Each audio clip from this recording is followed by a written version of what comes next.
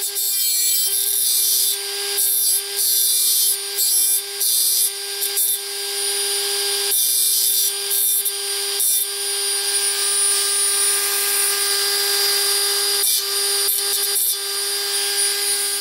we have our pie panels cut out from the dome, the next step we have to do is take out all the slag on them and deburr them. By slag, this is an example, I've done most of them already. If we look right here, you're going to see all the slag that's on there, which is right there. It can be kind of thick. It's not on all the edges, but we do have to get that off. Sometimes it's hard to get off, sometimes it's not. So that's one example. The other, right here, doesn't look as thick on there, but as you can see, still has moderate thickness to it. So what you can do is you can file it down. Ironically, I have a file on a uh, Leatherman, and it seems to work really good for filing everything down. And then after that, you can take a, uh, a deburring tool, which I've got one right here. I got this from Sears. I can't remember how much it was. It was probably about $10 or so, maybe 20 I honestly, I don't remember. But this works pretty good, and I'm going to show you how I use this.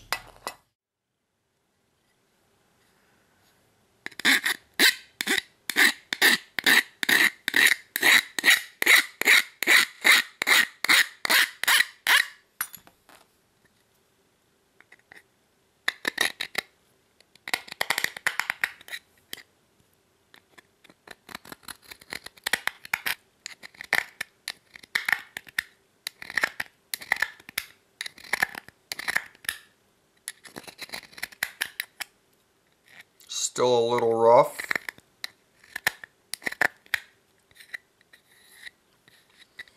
And there we have a nice deburred edge. Just go around it just to double check everything on all sides because you don't want your panels having anything. I feel a little bit of a raised side over here. You can just go right along there like that.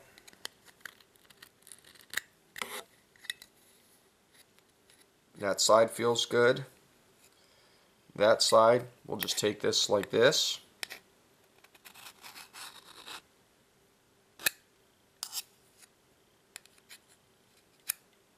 Nice and smooth. That's simple. This one, let's see if we have to file it or we can just get away with using this tool.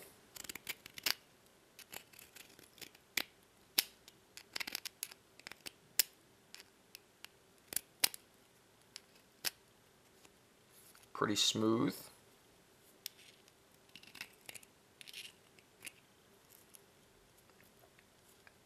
That came out really nicely right there. You can see right here, looks a little bit thick. So we just have to adjust that a little bit.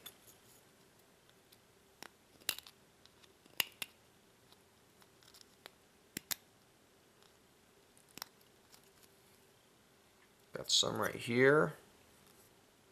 It's on all four sides.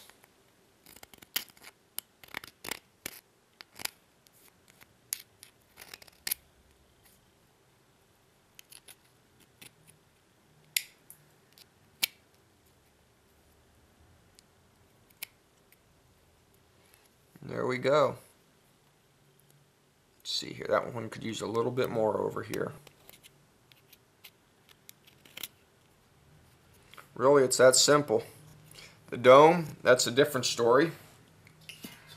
I've done most of this, but can get rather thick inside of the dome at times. You can see some right here. If I turn it this way, maybe we can get a better shot of that. Right, so there's all that slag, and you see that's going to have to get cut out. This will probably have to get filed down. For the dome, what I like to do for that, I usually just like to file that off and then take that deburring tool around the edges. And I've done most of the dome already. So just be careful not to bend your frame or anything like that.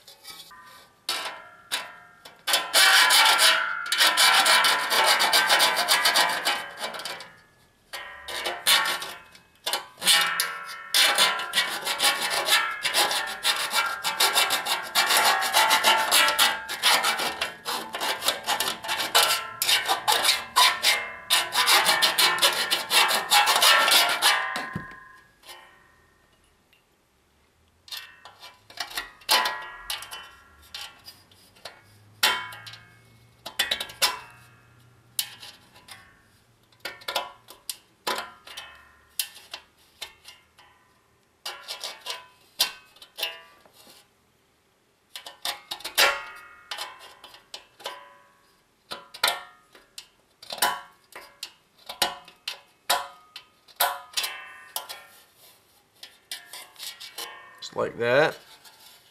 That'll work.